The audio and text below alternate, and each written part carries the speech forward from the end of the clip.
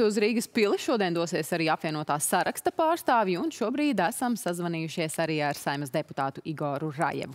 Labrīt! Labrīt! Uh, labrīt! Jā, labrīt. Sakiet, kas ir tas pats būtiskākais, ko šodien valsts prezidentam Edgaram Rinkevičam vēstīs jūsu um, pārstāvētais politiskais spēks par valdības veidošanas procesu? Um, pirmkārt, laikam jau tas, ka mēs uh, esam gatavi turpināt darbību valdībā. Ehm, mēs esam atvērti sarunām ar uh, vairākām partijām.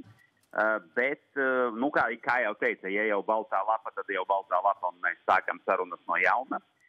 Bet ir jāsaprot, ka arī šādi tādi iepriekšējie uzstādījumi par sadarbību ar vairākām, ar citām partijām, izņemot tām trim, kuras tagad veido koalīciju, nu, tur būs daži jautājumi, uz kuriem mums vajadzētu sadzirdēt atbildi pirms mēs uh, Uh, nu, vienojamies par to, ka iespējams varam ar, sadarboties arī ar tām pārējām divām partijām. Mhm. Varbūt precizējiet, jā, kas tie ir jautājumi, vai viņi ir tik kategoriski, ka mēs tās varētu devēt nu, par sarkanajām līnijām, kā mēdz lietot šo uh, terminu? Uh, Redziet, ir, um, es esmu jauns politiķis, un, bet viena lieta, ko es esmu sapratis, um, uh, pēdējais, ko jums vajadzētu darīt, ir sazīmēt sev apkārt visur sarkanās līnijas un pēc tam mēģināt pašam ar grūtībām tās sarkanās līnijas pārvarēt. Uh, ir jāsaprot, ka uh, politikā ir, jā, tā ir māksla sarunāties un māksla panākt kompromisu, uh, bet uh, nu, dažreiz tas sanāk, dažreiz tas nesanāk. Jaunā vienotība virzīs Eviku Siliņu ministru prezidents amatam. Ja valsts prezidents viņu nominēs, vai apvienotais saraksts ir gatavs strādāt Evikas Siliņas vadītajā valdībā? Jā, bet jūs tā, nu, protams, ka jā, ja prezidents nominē uh, premjerministra kandidātu un, uh, un nu, tad um, attiecīgi viņš viņam uzticās vai viņai šī gadījumā uzticās. Un uh, sākotnējās tikšanās pagaidām atstāja ļoti pozitīvu iespaidu. Uh, Un jā, mēs varētu, varētu darboties uh, Evikas Siliņas vadītajā valdībā, bet ir jāsaprot, ka nu, vispirms ir jāsagaida prezidenta nominēšana. Mhm.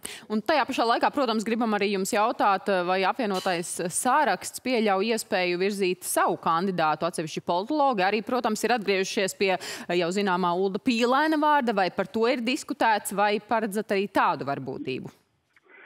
Um, uh, šobrīd ir vēl par agru uh, par to runāt. Uh, jā, Uldis Pīlēns vēl joprojām ir mūsu uh, ministra prezidenta kandidāts. Bet, kā mēs saprotam, lai um, nu, tas, tā kandidatūra būtu nopietna, mums ir jāredz, kādā veidā mēs varam iegūt uh, nu, 51% atbalstu uh, viņa kandidatūrai saimā. Uh, Tāpēc konsultācijas ir tikai pašā sākumā, tā ir tikai pirmā tikšanās ar valsts prezidentu. Un es domāju, ka mēs skatīsimies un pētīsim, kā tā situācija attīstīsies. Un nu, nekad nesaki nekad. Jā, lūkojot pašreizējo amatu sadalījumu, pat labāk saimnes priekšsēdētāja amats ir tieši apvienotās saraksta pārziņā. Sakiet, cik svarīgs ir tieši šis amats apvienotiem sarakstam? Nē, šī gadījumā es teiktu tā, ka amati ir svarīga, protams, lieta, bet uh, ir jāsaprot, ka amats tā ir tikai iespēja veikt, um, gūt kaut kādus panākumus un uzlabojumus mūsu valstī kaut kādā noteiktā jomā.